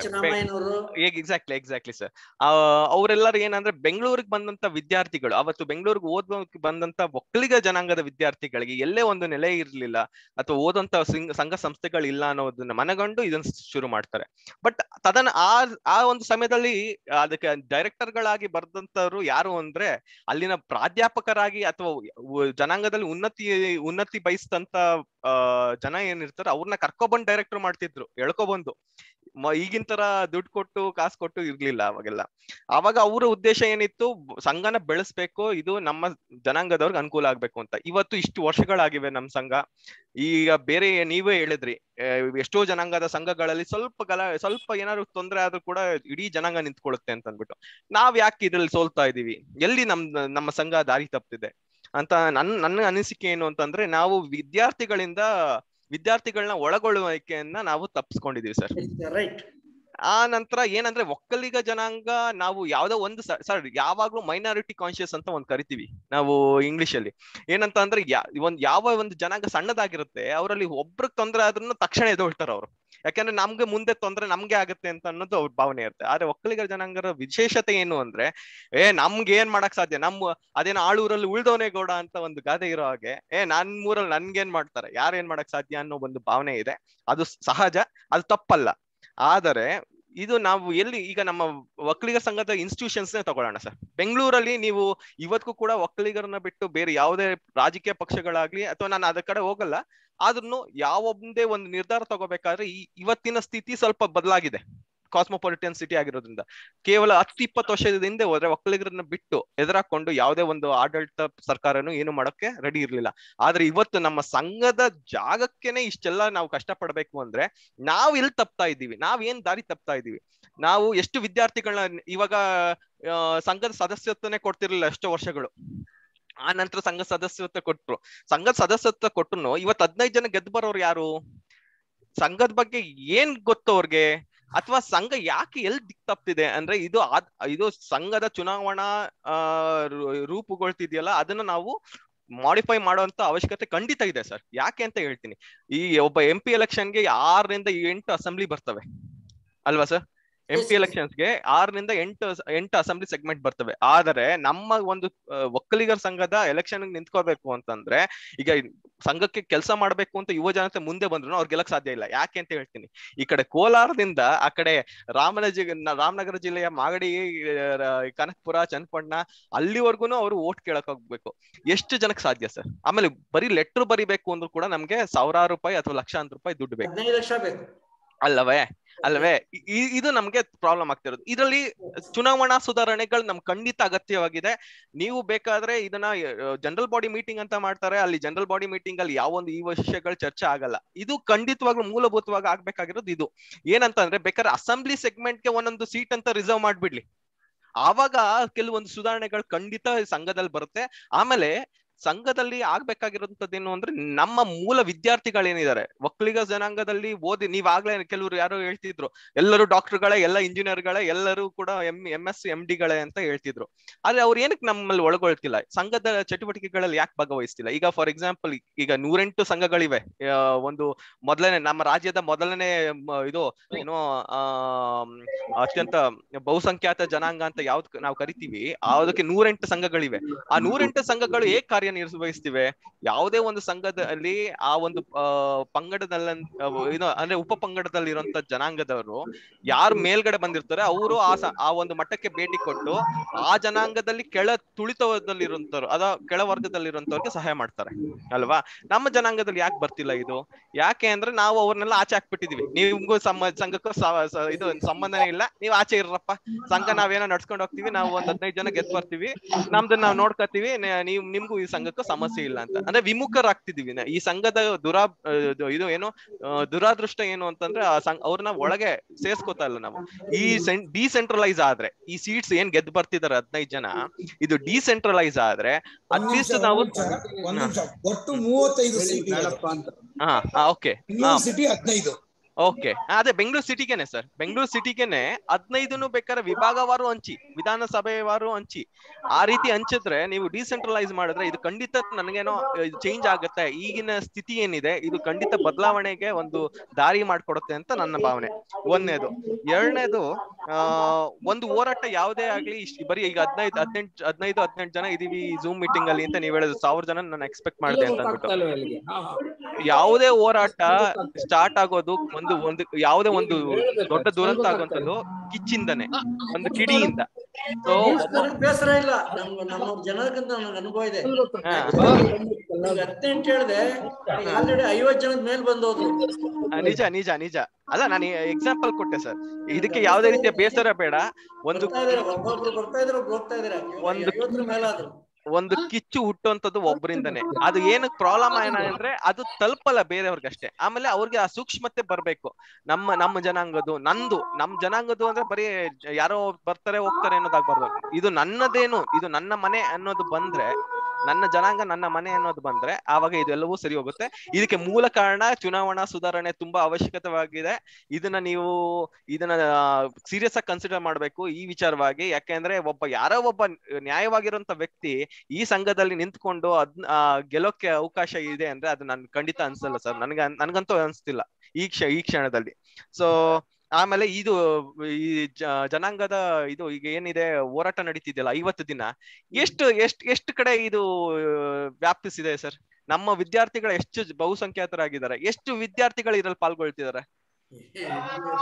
ಈಗ ಈಗ ಬೆಳೀತಾ ಇದೆ. ಅದಕ್ಕೆ ನಾನು ಒಂದ್ ಏನ್ ಹೇಳ್ತೀನಿ ಸರ್ ಇದಕ್ಕೆ ಮೂಲವಾಗಿ ಮೂಲಭೂತವಾಗಿ ಆಗ್ಬೇಕಾಗಿರೋದು ಪ್ರತಿಯೊಂದು ಕಾಲೇಜಲ್ಲಿ ಒಬ್ಬ ಒಕ್ಕಲಿಗ ಪ್ರಾಧ್ಯಾಪಕನೋ ಅಥವಾ ನಾನ್ ಟೀಚಿಂಗ್ ಸ್ಟಾಫ್ ಇದ್ದೇ ಇರ್ತಾರೆ ಪ್ರತಿಯೊಂದು ಕಾಲೇಜಲ್ಲಿ. ಆ ಕಾಲೇಜ್ನಲ್ಲಿ ಆ ಕೆಲಸ ಮಾಡುವಂತವ್ರನ್ನ ಗುರುತಿಸಿ ಅವ್ರಿಗೆ ಅವಕಾಶ ಸಂಘದಲ್ಲೂ ಅವ್ರನ್ನ ಸೇರ್ಸ್ಕೊಂಡು ಅವ್ರಿಗೆ ಒಂದು ಅವಕಾಶ ಕೊಟ್ಟು ಅಲ್ಲಿನ ಒಕ್ಕಲಿಗ ವಿದ್ಯಾರ್ಥಿಗಳಿಗೆ ಈ ಸಂಘದಿಂದ ನಿಮ್ಗೆ ಈ ಒಂದು ಇದು ಅನುಕೂಲಗಳಿವೆ. ಮತ್ತೆ ಎಷ್ಟು ಜನಕ್ಕೆ ಸ್ಕಾಲರ್ಶಿಪ್ ಕೊಟ್ಟಿದೆ ಸರ್ ನಮ್ ಸಂಘ? ಈಗ ಸಂಘ ನಮ್ದು ಅಂತ ವಿದ್ಯಾರ್ಥಿಗಳಿಗೆ ಯಾವಾಗ ಬರುತ್ತೆ? ಅಟ್ಲೀಸ್ಟ್ ಮೆರಿಟೋರಿಯಸ್ ಸ್ಟೂಡೆಂಟ್ಸ್ಗೆ ಏನಾದ್ರು ಅವಕಾಶಗಳು ಸಿಗ್ಬೇಕು. ಅಥವಾ ಅವ್ರಿಗೆ ಅವ್ರನ್ನ ಅಟ್ಲೀಸ್ಟ್ ಏನ್ ಕೊಡದೇ ಇದ್ರು ಅವ್ರನ್ನ ಗೌರವಿಸ್ಬೇಕು. ಈಗ ಮೈಸೂರಲ್ಲಿ ಇಡೀ ಸ್ಟೇಟ್ಗೆ ಐದು ವಿಭಾಗಗಳಲ್ಲೂ ಇಂಜಿನಿಯರಿಂಗ್ ಡೆಂಟ ಇದು ವೆಟನರಿ ಸೈನ್ಸ್ ಆಯುರ್ವೇದ ಮತ್ತು ಕೃಷಿ ಇವಿಷ್ಟಲ್ಲೂ ಕೂಡ ಒಬ್ಬನೇ ವಿದ್ಯಾರ್ಥಿ ಇಡೀ ರಾಜ್ಯಕ್ಕೆ ಸಿಇಟಿನಲ್ಲಿ ಫಸ್ಟ್ ಬಂದಿದ್ದಾನೆ. ಆ ವಿದ್ಯಾರ್ಥಿ ಯಾವ ಕಮ್ಯುನಿಟಿ ಅಂದ್ರೆ ನಮ್ ಕಮ್ಯುನಿಟಿ ಇದು ಎಷ್ಟ್ ಜನಕ್ಕೆ ಗೊತ್ತು? ಆ ಹುಡ್ಗಂಗೆ ಏನಾರು ಸನ್ಮಾನಗಳಾಗಿವ್ಯಾ? ಅಥವಾ ಅವನ್ಗೆ ಏನಾರು ಅವನ್ನ ಮುನ್ನೆಲೆಗೆ ತಂದಿದಾರ ಇಲ್ಲ. ನಮ್ಮ ಜನಾಂಗ ದುರದೃಷ್ಟ ದುರಾದೃಷ್ಟಕರ ದುರದೃಷ್ಟಕರ ಸಂಗತಿ ಏನು ಅಂದ್ರೆ ಯಾವುದೇ ಒಂದ್ ಏನಾರು ಅಚೀವ್ ಮಾಡಿದ್ರೆ ಅಚೀವ್ ಮಾಡಿ ತುಂಬಾ ಹೈ ಲೆವೆಲ್ಗೆ ಅವನು ಫೇಮಸ್ ಆದ ನಂತರ ನಮ್ಮವನು ಅಂತೀವಿ. ಆದ್ರೆ ಅವನು ಬೆಳಿಬೇಕಾದ್ರೆ ಅವನಿಗೆ ಅವಕಾಶಗಳಾಗ್ಲಿ ಅಥವಾ ಅವನಿಗೆ ಸಪೋರ್ಟ್ ಮಾಡೋದಾಗ್ಲಿ ನಮ್ಮ ಜನಾಂಗದಲ್ಲಿ ಇಲ್ಲ. ಇದೇ ನಮ್ ನಮ್ಗೆ ಬ್ಯಾಕ್ ಸ್ಟಾಪ್ ಆಗ್ತಿದೆ ಅಂತ ನನ್ನ ಅನಿಸಿಕೆ ಸರ್. ಇದ್ರ ಮೇಲೆ ದೊಡ್ಡವ್ರು ಇದೀರಿ ಆ, ನೀವೆಲ್ಲ ಇದ್ರ ಬಗ್ಗೆ ಚಿಂತನೆ ಮಾಡ್ಬೇಕು ಸರ್. ಖಂಡಿತ ಖಂಡಿತ. ತುಂಬಾ ಸಂತೋಷ ಆಯ್ತು. ಥ್ಯಾಂಕ್ ಯು ತುಂಬಾ ಅದ್ಭುತವಾಗಿ ಮಾತಾಡಿದ್ರಿ. ತಮ್ಮ ಹೇಳ್ಕೊಂಡಿದ್ದೀರಾ. ತುಂಬಾ ಧನ್ಯವಾದ. ಈ ದೇಶವನ್ನ ಆಳಿದ ಮಾಜಿ ಪ್ರಧಾನಮಂತ್ರಿಗಳಿದ್ದಾರೆ. ಹಾಗೇನೆ ನಮ್ಮ ಕುಲಗುರುಗಳಿದ್ದಾರೆ. ಇದ್ದ ಇಷ್ಟೆಲ್ಲ ಇದ್ದಾಗ್ಯೂ ಕೂಡ ಈ ಒಂದು ಭೂಮಿ ಏನು ಇವತ್ತು ಸುದ್ದಿ ಮಾಡ್ತಾ ಇದೆ? ಶ್ರೀಗಂಧದ ಕಾವಲು ಶಿಕ್ಷಣ ಸಂಸ್ಥೆಯ ಈ ಭೂಮಿ. ಕಳೆದ ಸಾವಿರದ ಒಂಬೈನೂರ ಅರವತ್ತೇಳರ ಸಂದರ್ಭದಲ್ಲಿ ಈ ಭೂಮಿಯನ್ನ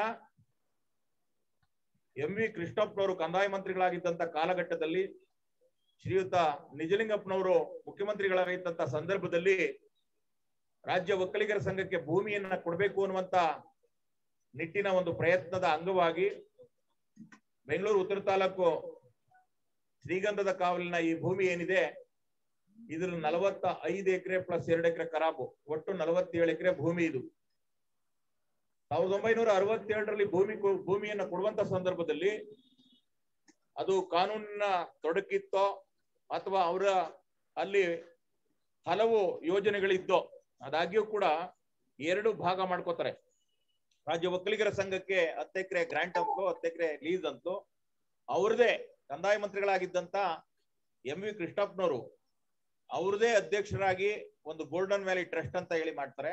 ಅವ್ರದ ಆ ಟ್ರಸ್ಟ್ಗೆ ಹತ್ತು ಎಕರೆ ಗ್ರಾಂಟ್ ಅಂತಲೂ, ಹದಿನೈದು ಎಕರೆ ಲೀಸ್ ಅಂತೂ ಮಾಡಿ ಒಟ್ಟು ಎರಡು ಭಾಗವನ್ನ ಮಾಡಿದಂತ ಎಂ ವಿ ಕೃಷ್ಣಪ್ಪನವರು ಸಾವಿರದ ಒಂಬೈನೂರ ಎಪ್ಪತ್ತ ನಾಲ್ಕರಲ್ಲಿ ನಮ್ಮ ಏನು ಈ ರಾಜ್ಯ ಒಕ್ಕಲಿಗರ ಸಂಘದ ಸಂಸ್ಥಾಪಕರಾಗಿರ್ತಕ್ಕಂಥ ಕುಲಪುರೋಹಿತ ಕೆ ಎಚ್ ರಾಮಯ್ಯನವರ ಸುಪುತ್ರರಾಗಿರ್ತಕ್ಕಂಥ ಮರುದೇವೇಗೌಡರು, ಅವತ್ತು ಆ ಸಂದರ್ಭದಲ್ಲಿ ಎಪ್ಪತ್ತ ನಾಲ್ಕರಲ್ಲಿ ಅಧ್ಯಕ್ಷರಾಗಿರ್ತಾರೆ. ಆ ಸಂದರ್ಭದಲ್ಲಿ ಅವರಿಬ್ರು ಬಂದು ಏನಿವತ್ತು ಇಲ್ಲಿ ನಮ್ಮ ಶಿಕ್ಷಣ ಸಂಸ್ಥೆ ಇದೆ, ಈ ಶಿಕ್ಷಣ ಸಂಸ್ಥೆನ ಶಿಲಾನ್ಯಾಸ ಮಾಡ್ತಾರೆ. ಇವತ್ತು ಕೂಡ ನೀವು ಹೋಗಿ ನೋಡ್ಬೋದು. ಈ ಒಂದು ಶಿಕ್ಷಣ ಸಂಸ್ಥೆನ ಸಂಬಂಧ ಎಪ್ಪತ್ನಾಲ್ಕರಿಂದ ಇಲ್ಲಿವರೆಗೂ ಕೂಡ ಬೆಂಗಳೂರು ಉತ್ತರ ತಾಲೂಕು ಮಾಗಡಿ ರಸ್ತೆಯ ಈ ಏನು ತಾವರೆಕೆರೆಯಿಂದ ಹಿಡಿದು, ಪೀಣ್ಯದಿಂದ ಹಿಡಿದು, ಕೆಂಗೇರಿಯಿಂದ ಹಿಡಿದು ಟೋಲ್ಗೇಟ್ ವರೆಗೂ ವಿಶಾಲವಾಗಿ ಇಷ್ಟು ಹಳ್ಳಿಗಳೇನಿದ್ದೋ, ನೂರಾರು ಹಳ್ಳಿಗಳ ಸಾವಿರಾರು ಮಕ್ಕಳು, ಬಡ ಮಕ್ಕಳು, ರಾಜ್ಯ ಒಕ್ಕಲಿಗರ ಸಂಘ ಇದನ್ನ ನಿರ್ವಹಣೆ ಮಾಡ್ತಾ ಇದ್ರು ಕೂಡ ಸರ್ವ ಜನಾಂಗದ ಮಕ್ಕಳು ಕೂಡ ಇಲ್ಲಿ ಓದಿ ಸಮಾಜಕ್ಕೆ ಕೊಡುಗೆ ಆಗಿ ಇವತ್ತು ಹೋಗಿದ್ದಾರೆ. ಸ್ನೇಹಿತರೆ ಈ ಸಂದರ್ಭದಲ್ಲಿ ಬಹಳ ಹೆಮ್ಮೆಯಿಂದ ರಾಜ್ಯ ಒಕ್ಕಲಿಗರ ಸಂಘ ಮಾಡಿರ್ತಕ್ಕಂಥ ಈ ಕೆಲಸವನ್ನ ನಾವು ಶ್ಲಾಘಿಸಬೇಕಾಗ್ತದೆ.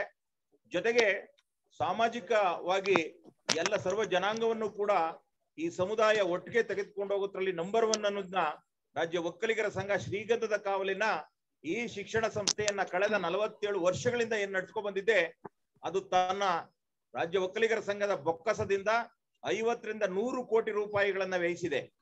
ಯಾವುದಕ್ಕೆ? ಈ ಸರ್ವ ಜನಾಂಗದ ಮಕ್ಕಳನ್ನ ಶಿಕ್ಷಣ ಕೊಡ್ಲಿಕ್ಕೆ, ಈ ರೀತಿಯ ಒಂದು ಶಿಕ್ಷಣವನ್ನ ಕೊಡಬೇಕು ಅನ್ನುವಂಥದ್ದು ಒಂದು ಸರ್ಕಾರದ ಏನು ಸಂವಿಧಾನದತ್ತವಾದಂತಹ ಡಾಕ್ಟರ್ ಬಿ ಆರ್ ಅಂಬೇಡ್ಕರ್ ಕೊಟ್ಟಿರ್ತಕ್ಕಂತ ಹಕ್ಕು, ಆ ರೀತಿ ಒಂದು ಸರ್ಕಾರ ಮಾಡಬೇಕಾದಂತ ಕೆಲಸವನ್ನ ರಾಜ್ಯ ಒಕ್ಕಲಿಗರ ಸಂಘ ತನ್ನ ಸಾಮಾಜಿಕ ಭದ್ರತೆಯನ್ನ ತೋರ್ಲಿಸ್ಕೋಸ್ಕರ, ಬದ್ಧತೆಯನ್ನ ತೋರ್ಲಿಸ್ಕೋಸ್ಕರ ಮಾಡಿರ್ತಕ್ಕಂತ, ಇಡೀ ಬೆಂಗಳೂರು ಸಂದರ್ಭದಲ್ಲಿ ಬೇಕಾದ್ರೆ ಹೇಳ್ಬೋದು, ಆ ಕಾಲಘಟ್ಟದಿಂದ ಒಂದು ಏಕೈಕ ಶಿಕ್ಷಣ ಸಂಸ್ಥೆ ಯಾವ್ದಾದ್ರು ಇದ್ರೆ ಅದು ಶ್ರೀಗಂಧದ ಕಾವಲು ಶಿಕ್ಷಣ ಸಂಸ್ಥೆ ಅಂತ ಹೇಳ್ಬೋದು.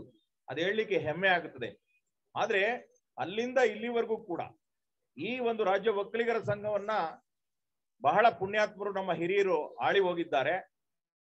ನಮ್ಮ ತೋಟಗಾರಿಕೆ ಪಿತಾಮಹ ಆಗಿರ್ತಕ್ಕಂತ ಎಂ ಎಚ್ ಮರಿಗೌಡರಿಂದ ಹಿಡಿದು ಎಚ್ ಕೆ ವೀರಣ್ಣಗೌಡ್ರಿಂದ ಹಿಡಿದು ಪ್ರೊಫೆಸರ್ ವೆಂಕಟೇಗೌಡರು ನಾಲ್ಕನೇ ಜಗತ್ತಿನ ಅರ್ಥಶಾಸ್ತ್ರಜ್ಞ ಆಗಿದ್ದಂಥವ್ರು ಗುತ್ತಲುಗೌಡರಿಂದ ಹಿಡಿದು ತುಂಬಾ ಉತ್ತಮೋತ್ತಮರು ನಮ್ಮ ಕುಲದ ಮಹೋನ್ನತ ವ್ಯಕ್ತಿಗಳು ರಾಜ್ಯ ಒಕ್ಕಲಿಗರ ಸಂಘವನ್ನ ಯಾವ ಉದ್ದೇಶ, ಸದುದ್ದೇಶವನ್ನ ಇಟ್ಕೊಂಡು ಆಳಿದ್ರು, ಇವತ್ತು ನಿಂತಿರ್ತಕ್ಕಂತ ಬಿಲ್ಡಿಂಗ್ಗಳಾಗಿರ್ಬೋದು, ಮತ್ತೆ ಜೊತೆಗೆ ಏನ್ ಮೆಡಿಕಲ್ ಇಂಜಿನಿಯರಿಂಗ್, ಅನೇಕ ಏನು ಉನ್ನತ ಶಿಕ್ಷಣ ಸಂಸ್ಥೆಗಳನ್ನ ಸ್ಥಾಪನೆ ಮಾಡಿರ್ತಕ್ಕಂತ ಮಹೋನ್ನತವಾದಂತ ರಾಜ್ಯ ಒಕ್ಕಲಿಗರ ಸಂಘ ಒಬ್ರು ಶಿಕ್ಷ ಆರ್ಥಿಕ ತಜ್ಞರು ಹೇಳ್ತಾ ಇದ್ರು, ಇಷ್ಟೊತ್ತಿಗೆ ಸರಿಯಾದ ರೀತಿನಲ್ಲಿ ಕರೆಕ್ಟ್ ಆಗಿ ಕ್ರಮಬದ್ಧವಾಗಿ ಬೆಳೆದಿದ್ರೆ ರಾಜ್ಯ ಒಕ್ಕಲಿಗ ಸಂಘದ ಆಸ್ತಿ ಇಷ್ಟೊತ್ತಿಗೆ ಅರವತ್ತು ಸಾವಿರ ಕೋಟಿ ರೂಪಾಯಿಗಳ ಆಸ್ತಿ ಇರಬೇಕಾಗಿತ್ತು.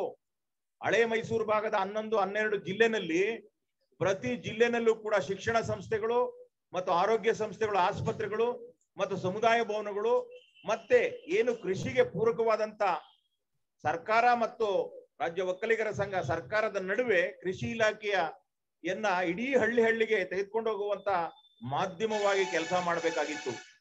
ಆದ್ರೆ ದುರಂತ ಮತ್ತು ವಿಪರ್ಯಾಸ ಏನಿದೆ, ಅದರಲ್ಲಿ ಒಂದು ಸ್ಯಾಂಪಲ್ ಇವತ್ತು ಶ್ರೀಗಂಧದ ಕಾವಲನ್ನ ಈ ಒಂದು ಶಿಕ್ಷಣ ಸಂಸ್ಥೆಯ ಹದಿನೈದು ಎಕರೆ ಭೂಮಿ. ಸಾವಿರದ ಒಂಬೈನೂರ ತೊಂಬತ್ ಮೂರರ ಸಂದರ್ಭ, ಕೋಲಾರ ಭಾಗದಿಂದ ಒಬ್ರು ವೀರಪ್ಪ ಅಂತೇಳಿ ನಮ್ಮ ರಾಜ್ಯ ಒಕ್ಕಲಿಗರ ಸಂಘಕ್ಕೆ ಆಯ್ಕೆ ಆಯ್ತಾರೆ. ಅವ್ರ ಆಯ್ಕೆಯಾಗೋ ತನಕನೂ ಕೂಡ ಒಟ್ಟಾರೆ ಈ ಭೂಮಿ ಏನಿತ್ತು, ಈ ಭೂಮಿ ಯಾವುದೇ ವಿವಾದಕ್ಕೆ ಒಳಗಾಗಿರಲಿಲ್ಲ.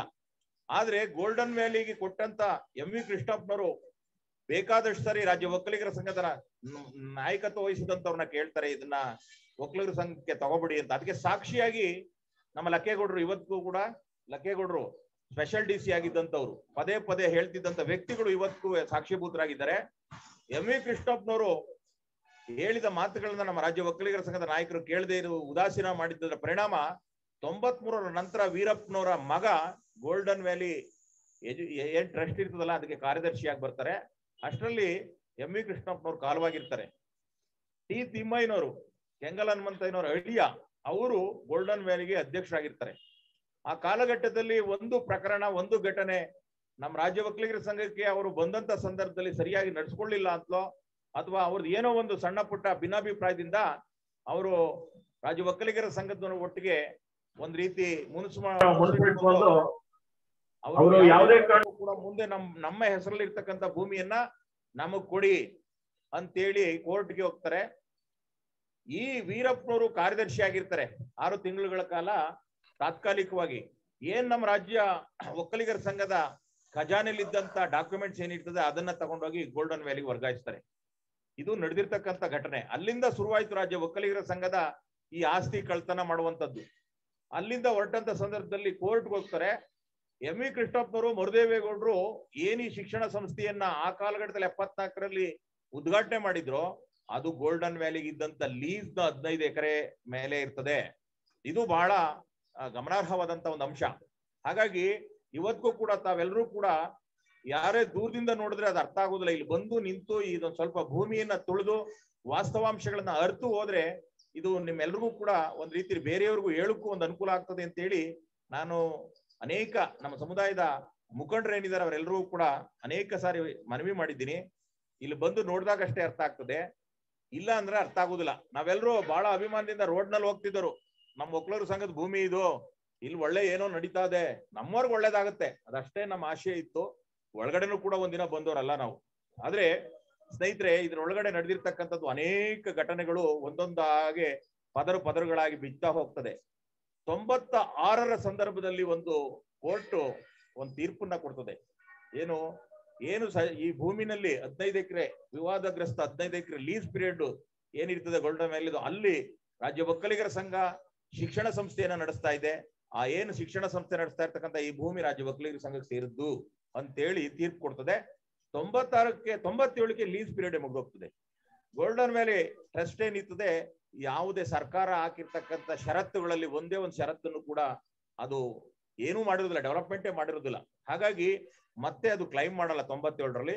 ನಂತರದಲ್ಲಿ ರಾಜ್ಯ ಒಕ್ಕಲಿಗರ ಸಂಘದ ಅನೇಕ ಅರ್ಜಿಗಳು ನಮ್ಗೆ ಏನ್ ಈ ಭೂಮಿ ಇದೆ, ನಾವೇ ಅಭಿವೃದ್ಧಿ ಮಾಡಿದ್ದೀವಿ, ನಮ್ಮ ಶಿಕ್ಷ, ಶೈಕ್ಷಣಿಕ ಉದ್ದೇಶಕ್ಕೋಸ್ಕರ ಈ ಭೂಮಿಯನ್ನ ನಾವು ಬಳಸ್ಕೊ, ಬಳಸ್ಕೊಳ್ಳೇಬೇಕು ಅಂತ ಹೇಳಿ ನಮ್ಗೆ ಗ್ರಾಂಟ್ ಮಾಡಿ ಅಂತ ಸಾಕಷ್ಟು ಅರ್ಜಿಗಳಿದ್ದಾವೆ. ಅರ್ಜಿ ಇದಾವೆ ಅಷ್ಟೇನೆ, ಆದ್ರೆ ಯಾರು ಫಾಲೋಅಪ್ ಕೂಡ ಮಾಡಿಲ್ಲ. ಹಾಗಾಗಿ ಇವತ್ತಿನ ಈ ಭೂಮಿ ಸರ್ಕಾರದ ಭೂಮಿಯನ್ನು ಮಟ್ಟಕ್ಕೆ ಅದು ಕನ್ಸಿಡರ್ ಆಗ್ತಾ ಬಂತ, ಬಂದಿದೆ. ಸ್ನೇಹಿತರೆ, ಇವತ್ತು ಮೂರು ವರ್ಷಗಳ ಕಳೆದಿದ್ದಾವೆ, ನಮ್ಮ ಕಾರ್ಯಕಾರಿ ಸಮಿತಿ ಇಲ್ಲ. ಇಲ್ಲಿ ಆಡಳಿತಾಧಿಕಾರಿಗಳೇ ಇದ್ದಾರೆ. ಸಾಕಷ್ಟು ಜನ ಎಸ್ಟೇಟ್ ಎಸ್ಟೇಟ್ ಆಫೀಸರ್ಗಳಿಂದ ಹಿಡಿದು ಅನೇಕ ಅಧಿಕಾರಿಗಳು ಇದೆಲ್ಲ ನಿರ್ವಹಣೆಗೋಸ್ಕರ ಇದ್ದಾರೆ. ಆದ್ರೆ ವಿಪರ್ಯಾಸ ಅಂತಂದ್ರೆ ನಮ್ಮ ಏನು ಈಗ ಒಂದ್ ಮೂರ್ ಮೂರ್ ಸಾವಿರ ಇರ್ಬೋದಾ ಸಿಬ್ಬಂದಿ? ಸಿಬ್ಬಂದಿ ನಮ್ಮ ಏನು ರಾಜ್ಯ ಒಕ್ಕಲಿಗರ ಸಂಘದಲ್ಲಿ? ಮೂರ್ ಮೂರುವರೆ ಸಾವಿರ ಜನ ಸಿಬ್ಬಂದಿ ವರ್ಗ ಇದೆ.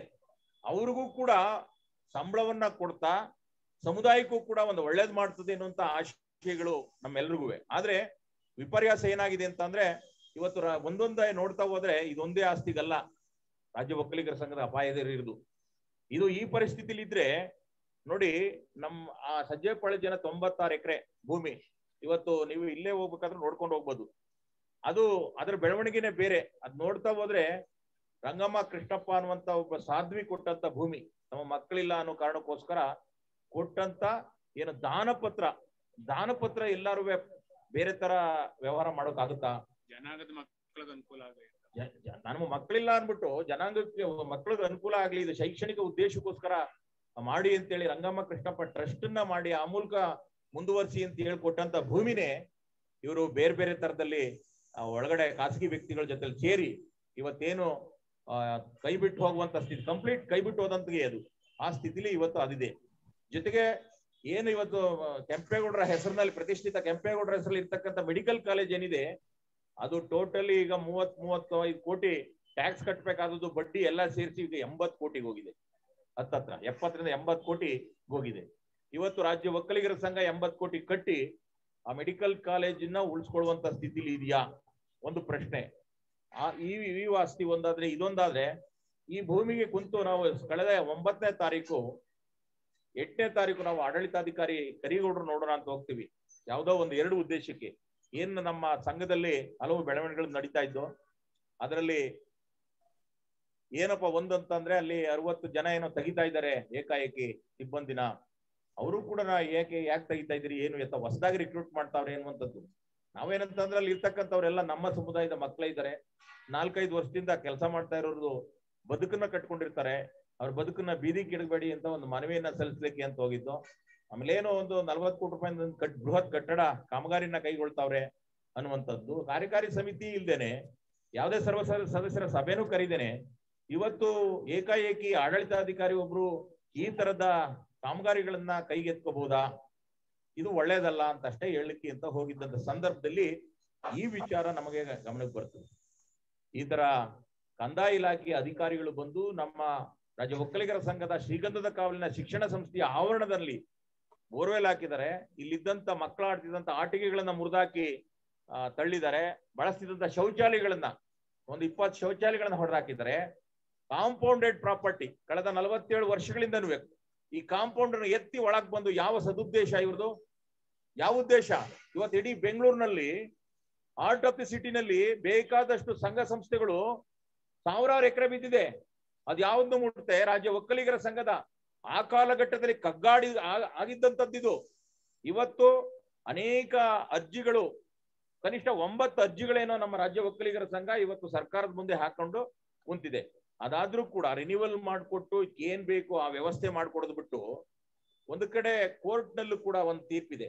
ಏನು ಸರ್ಕಾರದ ಈ ರೀತಿಯ ಪ್ರಾಪರ್ಟಿ ನಿರ್ವ, ಯಾವ್ದಾರ ಒಂದು ಸಂಸ್ಥೆ ಈ ರೀತಿ ಶಿಕ್ಷಣ ಸಂಸ್ಥೆಗೋ ಯಾವ್ದಕ್ಕೋ ನಿರ್ವಹಿಸ್ತಾ ಇದ್ರೆ ಖುದ್ದಾಗಿ ಸರ್ಕಾರನೇ ಬಂದ್ ಮಾಡ್ಕೊಡ್ಬೇಕು ಅನ್ನುವಂತ ತೀರ್ಪುಗಳಿದ್ದಾವೆ. ಅದಾಗ್ಯೂ ಕೂಡ ಈ ನಮ್ಮ ಕಂದಾಯ ಇಲಾಖೆ ಅಧಿಕಾರಿಗಳು ಇಲ್ಲಿ ಬಂದವ್ರೆ ಅಂದ್ರೆ ವಿಶೇಷ ಅಂದ್ರೆ ಇವತ್ತು ಒಕ್ಕಲು ಸಮುದಾಯದ ವ್ಯಕ್ತಿನೇ ಕಂದಾಯ ಮಿನಿಸ್ಟ್ರು, ಕಂದಾಯ ಮಂತ್ರಿ ಆದಾಗ್ಯೂ ಕೂಡ ಅವ್ರ ಗಮನಕ್ಕೆ ಬರದೆ ಇಲ್ಲಿ ಬರ್ಲಿಕ್ಕೆ ಸಾಧ್ಯನಾ? ಇವತ್ತೆಲ್ಲ ನಾವು ಒಕ್ಕಲಿಗರು ಇದನ್ನ ಗಂಭೀರವಾಗಿ ಈ ಪ್ರಶ್ನೆ ನಾವು ಕೇಳ್ಕೋಬೇಕಾಗ್ತದೆ. ಇದರ ಹಿಂದೆ ಯಾವ ಸದುದ್ದೇಶ ಇದೆ? ಮಾನ್ಯ ಕಂದಾಯ ಮಂತ್ರಿಗಳೇ, ನಾವು ಕೇಳ್ಬೇಕಾಗ್ತದೆ ಈ ಪ್ರಶ್ನೆನ. ಏನು ಈ ಒಕ್ಕಲಿಗರು ಇವತ್ತು ಕಾರ್ಯಕಾರಿ ಸಮಿತಿ ಇಲ್ಲ ಅನ್ನೋ ಕಾರಣಕ್ಕೆ ಇಟ್ಕೊಂಡು ತಾನೇ ಸರ್ಕಾರದಿಂದ ನೇಮಿಸಿದಂತ ಒಬ್ಬ ಅಧಿಕಾರಿ ಇದ್ದಾನೆ, ಹೇಳ್ದಂಗೆ ಕೇಳ್ತಾನೆ ಅಂತೇಳಿ ನಿಮಗ್ ಬೇಕಾದಂಗೆ ಈ ಭೂಮಿ ಮೇಲೆ ನಿಮ್ ಕಣ್ಣಿದೆಯಾ? ಇದ್ರ ಇಲ್ಲ ಅಂತಂದ್ರೆ ಈ ಹಿಂದೆ ಜಗದೀಶ್ ಶೆಟ್ಟರ್ ಇದೇ ಹದಿನೈದು ಎಕರೆನಲ್ಲಿ ಒಬ್ಬ ಮಾಜಿ ಯೋಧನ ಹೆಸರಿನಲ್ಲಿ ಕಾನೂನುಗಳನ್ನ ಉಲ್ಲಂಘಿಸಿ ಏನು ಒಬ್ಬ ಮಾಜಿ ಯೋಧನಿಗೆ ಬಿಬಿಎಂಪಿ ಇಂದ ಹದಿನೆಂಟು ಕಿಲೋಮೀಟರ್ ಹೊರಗೆ ಕೊಡ್ಬೇಕು ಅಂತಿದೆ. ಆ ಕಾನೂನುಗಳನ್ನ ಉಲ್ಲಂಘಿಸಿ ಕೃಷಿ ಭೂಮಿನ ಕೊಡ್ಬೇಕು. ಇದು ಕೃಷಿ ಭೂಮಿ ಕೂಡ ಅಲ್ಲ. ಈ ಭೂಮಿನಲ್ಲಿ ನೇರವಾಗಿ ಆರೋಪ ಮಾಡ್ತೀನಿ, ಲಂಚ ತಕೊಂಡು ಕೊಟ್ಟಂತ ಭೂಮಿಯನ್ನ ನಂತರದ ಸಿದ್ದರಾಮಯ್ಯ ಸರ್ಕಾರ ವಜಾಗೊಳಿಸ್ತು. ಅದು ಕೂಡ ಇದೇ ಹದಿನೈದು ಎಕರೆಯ ನಾಲ್ಕು ಎಕರೆ ಭೂಮಿಯ ವಿವಾದ. ಇದೆಲ್ಲ ಇದ್ದಾಗ್ಯೂ ಕೂಡ ಇವತ್ತು ನಮ್ಮ ಕಂದಾಯ ಮಂತ್ರಿಗಳು ಅಂಥದೇ ಒಂದು ಹುನ್ನಾರವನ್ನ ಸರ್ಕಾರದ ಮೂಗಿನ ನೇರಿಕೆ ಮಾಡ್ಲಿಕ್ಕೆ ಹೊರಟಿದಾರ? ಇದು ನಮ್ಮ ಪ್ರಶ್ನೆ. ಇದಾಗ್ಯೂ ಕೂಡ ಇವತ್ತು ನಾವು ಬಹಳಷ್ಟು ಹೋರಾಟಗಾರರು ಸಾಕಷ್ಟು ದಮ್ ತಡ್ಕೊಂಡು ತಾಳ್ಮೆಯಿಂದ ನಮ್ಮ ಕುಲಗುರುಗಳ ಏನ್ ಆದ ಆದೇಶ ಒಂದು ಮಾರ್ಗದರ್ಶನ ಕೊಟ್ಟಿದ್ದಾರೆ. ನಾವು ಇಲ್ಲಿ ಬಂದು ನೋಡಿದ್ರೆ ಅವತ್ತು ಒಂಬತ್ತನೇ ತಾರೀಕು ಒಂದು ಸಾಲಿಗೆ ಜೆ ಸಿ ಬಿಗಳು ನಿಲ್ಸ್ಕೊಂಡಿದ್ದಾರೆ. ಈ ಕಡೆ ಎಲ್ಲ ಟ್ರಾಕ್ಟರ್ಗಳು ನಿಲ್ಸ್ಕೊಂಡಿದ್ದಾರೆ. ಇಲ್ಲಿ ಎಲ್ಲ ಡೆಪ್ಟಿ ತಹಸೀಲ್ದಾರ್ ಅದೇ ಕಂದಾಯ ಇಲಾಖೆ ಅಧಿಕಾರಿಗಳಿದ್ದಾರೆ. ಇಲ್ಲಿ ತಗೊಂಡು ಏಕಾಏಕಿ ಕಾಂಪೌಂಡ್ ಎತ್ಬಿಟ್ಟು ಒಳಗಡೆ ಬಂದಿದ್ದಾರೆ. ನಾವು ಬಂದು ಅಚಾನಕ್ ಆಗಿ ಒಂದು ಆಕ್ಸಿಡೆಂಟ್ ನಮಗೂ ಕೂಡ ಇದೇನು ಅಂತ ಗೊತ್ತಿಲ್ಲ. ಬಂದು ಕೇಳಿದ್ರೆ ಅಲ್ಲಿ ನಮ್ಮ ಕಾಯ್ಬೇಕಾದಂತ ಮಹಾನುಭಾವ ಆತ ಹೇಳ್ತಾನೆ, ಇಲ್ಲ ಅದು ಸರ್ಕಾರ ಭೂಮಿ ಅಂತಾನೆ. ಸಿದ್ದಯ್ಯ ಫೋನ್ನಲ್ಲಿ ನಾವು ಕ್ಲಾಸ್ ತಕೊಂಡು ನೀವು ಏ ಒಕ್ಕಲಿಗರ ಸಂಘದ ಸಂಬಳ ತಗೋತಾ ಇದ್ದೀರಿ ಒಕ್ಕಲಿಗರ ಸಂಘದ ಅನ್ನ ತಿಂತಾ ಇದ್ದೀರಿ, ಈ ಮಾತಾಡ್ಬೋದೇನ್ರಿ ಅಂತ ಹೇಳಿ ಗಲಾಟೆ ಮಾಡಿ ಎಲ್ಲ ಜೆ ಸಿ ಬಿಗಳನ್ನು ಕೂಡ ಬೇರೆ ತರಕಾಗ್ತದೆ ಒಕ್ಕಲಿಗ ಸಮುದಾಯ ಎದ್ರೆ ರಾಜ್ಯದಲ್ಲಿ ಬೇರೆ ಕಥೆಗಳೇ ನಡೆದೋಯ್ತವೆ ಅಂತ ಹೇಳಿ ನಾವು ಅವತ್ತು ಎಲ್ಲರನ್ನೂ ಕೂಡ ಗದರಿಸಿ ಬೇರೆ ರೀತಿಯ ಒಂದು ಬೆದರಿಕೆಯನ್ನ ಕೂಡ ಅವತ್ತು ಅಂತ ಬೇಕಾದ್ರೆ ಹೇಳ್ತೀವಿ ಹೆಮ್ಮೆಯಿಂದ ಯಾಕೆ ಅಂತಂದ್ರೆ ನಮ್ಮ ಸಮುದಾಯ ಇವತ್ತು ಕೈ ಕಟ್ಕೊಂಡ್ ಕುಂತಿದ್ಯಾ? ಶಕ್ತಿಹೀನವಾಗಿದೆಯಾ? ಮೂರ್ಛೆಯಿಂದ ಕುಳಿತಿದ್ಯಾ ಅಂತ ಅನ್ನೋದು ಕೇಳ್ಬೇಕಾದಂತ ಪ್ರಶ್ನೆ ಇದೆ ಇವತ್ತು ಎಲ್ರುವೆ. ಯಾಕೆಂದ್ರೆ ಬೇರೆ ಹಿಂದಿನ ಒಂದ್ ಕೆಲವೇ ದಿನದಲ್ಲಿ ನಡೆದದ್ದು ಒಬ್ಬ ಮುಖ್ಯಮಂತ್ರಿನ ಅದು ರಾಜ್ಯದಲ್ಲಿ ಅಧಿಕಾರದಲ್ಲಿ ಇದ್ದಂತ ಸಂದರ್ಭದಲ್ಲಿ ಜೈಲ್ ಹೋದಂತ ಮುಖ್ಯಮಂತ್ರಿ, ಕಳಂಕ ಹೊತ್ತಂತ ಮುಖ್ಯಮಂತ್ರಿನೇ ಕೂಡ ಅವರು ಎಲ್ಲಾ ಸ್ವಾಮೀಜಿಗಳು ಬಂದು ಅವ್ರನ್ನ ತೆಗೆದ್ರೆ ನಾವು ಸುಮ್ಮನಿರಲ್ಲ ಅಂತ ಬೆದರಿಕೆ ಹಾಕ್ತಾರೆ. ಇವತ್ತು ಬಹಳ ಅಮೂಲ್ಯವಾದಂತ ಜಾಗ ಇದು. ಒಕ್ಕಲಿಗರ ಸಂಘದ ಭೂಮಿ ಹೋಗ್ತಾ ಇದೆ ಅಂತ ಹೇಳಿ ಕಂಠ ಶೋಷಣೆ ಮಾಡ್ಕೊತಾ ಇದೀವಿ. ಕಳೆದ ನಲವತ್ತೆಂಟು ದಿನಗಳಿಂದನು ಕೂಡ ಯಾವ ಇವರು ಅಧಿಕಾರ ಅನುಭವಿಸೋಕೆ ರಾಜ್ಯ ಒಕ್ಕಲಿಗರ ಹೆಸರು ಬೇಕು. ಇವರು ಮಂತ್ರಿಗಳಾಗ್ಲಿಕ್ಕೆ ಒಕ್ಕಲಿಗರ ಟ್ರಂಪ್ ಕಾರ್ಡ್ ಬೇಕು. ಇವರು ಮುಖ್ಯಮಂತ್ರಿ ಆಗ್ಲಿಕ್ಕೂ ಕೂಡ ಒಕ್ಕಲಿಗದ್ದೇ ಲಾಬಿ ನಡೆಸ್ಬೇಕು ಇವರು. ಅದಾಗ್ಯೂ ಕೂಡ ಇವತ್ತು ಯಾವ ಒಂದು ಈ ಮಹಾಮೌನಕ್ಕೆ ಅರ್ಥ ಏನು?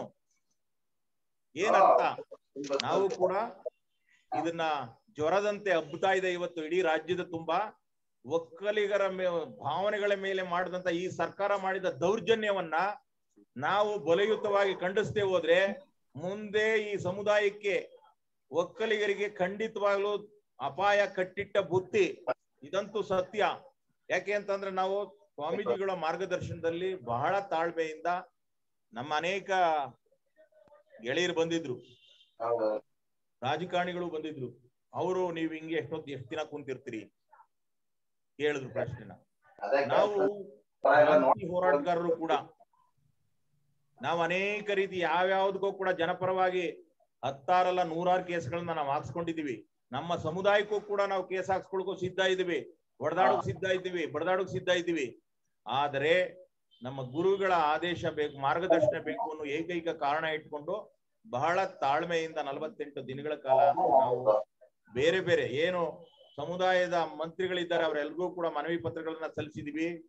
ಎಲ್ಲ ಬಹುತೇಕ ನಮ್ಮ ಶಿವಲಿಂಗೇಗೌಡರಿಂದ ಹಿಡಿದು ಮರ್ತಿಬೇಗೌಡರಿಂದ ಹಿಡಿದು ಹಲವು ಶಾಸಕರುಗಳಿಗೂ ಕೂಡ ಈ ವಿಚಾರದ ಎಲ್ಲ ವಿವರಗಳನ್ನ ಮನವಿಯ ಮೂಲಕ ಸಲ್ಲಿಸಿದೀವಿ. ಜೊತೆಗೆ ಕರಪತ್ರಗಳ ಮೂಲಕ ಹತ್ತಾರು ಸಾವಿರ ಕರಪತ್ರಗಳ ಮೂಲಕ ನಮ್ಮ ಸಮುದಾಯದ ಸಂಘ ಸಂಸ್ಥೆಗಳೇನಿದಾವೆ, ಎಲ್ರಿಗೂ ಕೂಡ ಮನವರಿಕೆ ಮಾಡ್ತಾ ಇದ್ದೀವಿ. ದಯಮಾಡಿ ಬನ್ನಿ ಅವತ್ತು ನಮ್ಮ ನಾವು ಕುಂತಂತ ಕಳೆದ ಒಂದು ಹತ್ತು ದಿನಗಳಲ್ಲೇ ಮಂಜಾವಧಿ ಸ್ವಾಮೀಜಿಗಳು ಗೊತ್ತಾಗಿ ದಿಢೀರಂತ ಅವರು, ದಿಢೀರಂತ ಬಂದು ವೇದಿಕೆಗೆ ಬಂದ್ರು. ಬಂದು ಯಾವುದೇ ಕಾರಣಕ್ಕೂ ಈ ಭೂಮಿಯನ್ನ ಬಿಡಕ್ ಸಾಧ್ಯನೇ ಇಲ್ಲ. ದಯಮಾಡಿ ಈ ಹೋರಾಟಕ್ಕೆ ನಮ್ಮ ಬೆಂಬಲ ಇದೆ, ಏನಾದ್ರೂ ಪರವಾಗಿಲ್ಲ ಅಂತ ಹೇಳಿ ಶಕ್ತಿಯನ್ನ ತುಂಬಿದ್ರು. ಆನಂತರ ದಿನಮಾನಗಳಲ್ಲಿ ಅನೇಕ ಬುದ್ಧಿಜೀವಿಗಳು ಎಲೆ ಮುಕುಂದರಾಜಾದಿಯಾಗಿ ಎಲ್ಲರೂ ಬಂದು ನಮ್ಮ ಸಮುದಾಯವನ್ನ ಎಚ್ಚರಿಸುವಂತ ಒಂದು ಕೆಲಸವನ್ನು ಕೂಡ ಮಾಡಿದ್ದಾರೆ. ಕಳೆದ ನಲವತ್ತ ಎಂಟು ದಿನಗಳಿಂದನೂ ಕೂಡ ಬೆಂಗಳೂರು ಅಲ್ಲದೇನೆ ಕೋಲಾರ ತುಮಕೂರು ಹಾಸನ ಭಾಗಗಳಿಂದ